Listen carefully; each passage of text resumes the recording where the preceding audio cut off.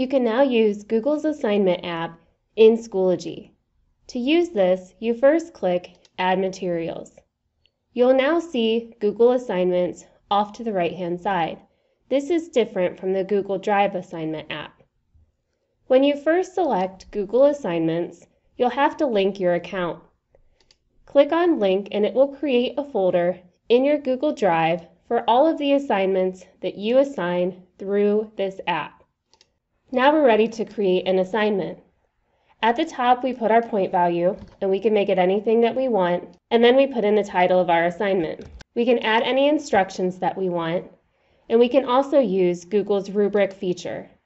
You can create a new rubric right here, you can reuse one, or you can import one from Google Sheets that you've created using a specialized template. The next option is to turn on Google's Originality Reports. This is Google's plagiarism detector. If I turn this on, it'll give you a notice that you will have the ability to use three originality reports. However, we will have Google Enterprise, so we will be able to use unlimited originality reports.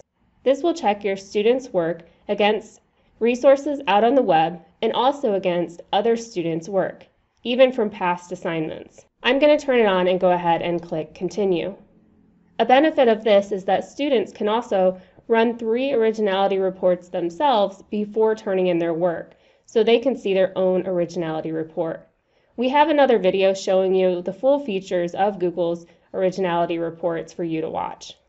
Now I can attach any templates or links that I want for my students. If I want, I can find a template on my Google Drive and assign it directly to my students. Notice that right away it'll tell you that each student will get a copy of the files that you've attached here. At the top, you can add a due date if you would like to.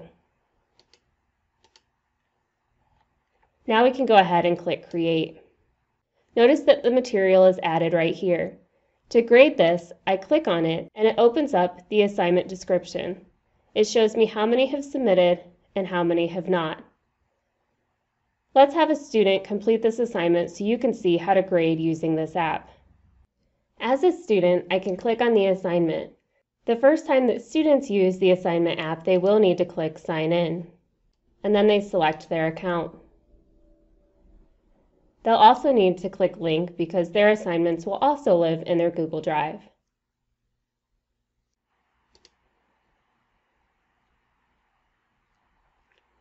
Here the student can see the attached template, they can see the rubric, and they can expand any portion of the rubric to see the full description.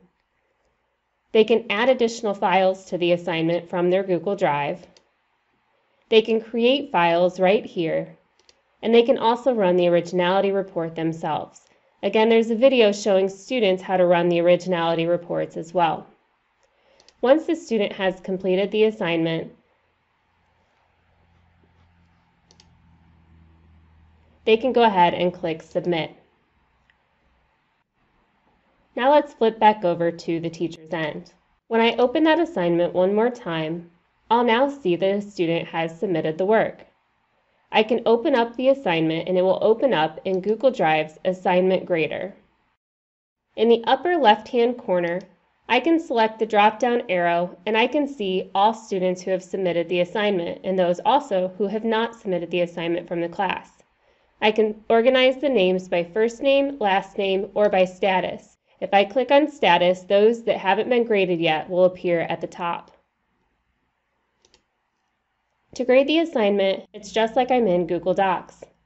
I can leave comments and it will start me out in suggestion mode.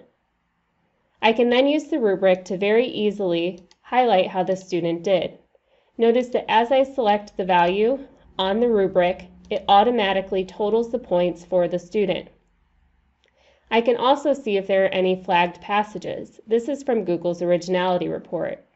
If I open up the No Flagged Passages, it'll show me if it finds any matches against the web or any matches against other students. Again, there's another video showing you how to look at all of the originality reports. When you're finished grading all of your students' work, you can click Return for an individual student, or you can click the drop-down arrow and choose to return multiple submissions at one time.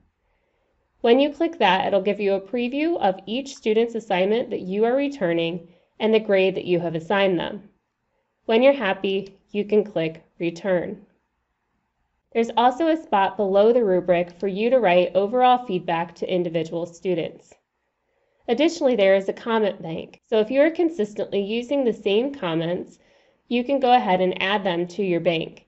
This makes it really easy for you to put in comments to each student without having to retype everything over and over again.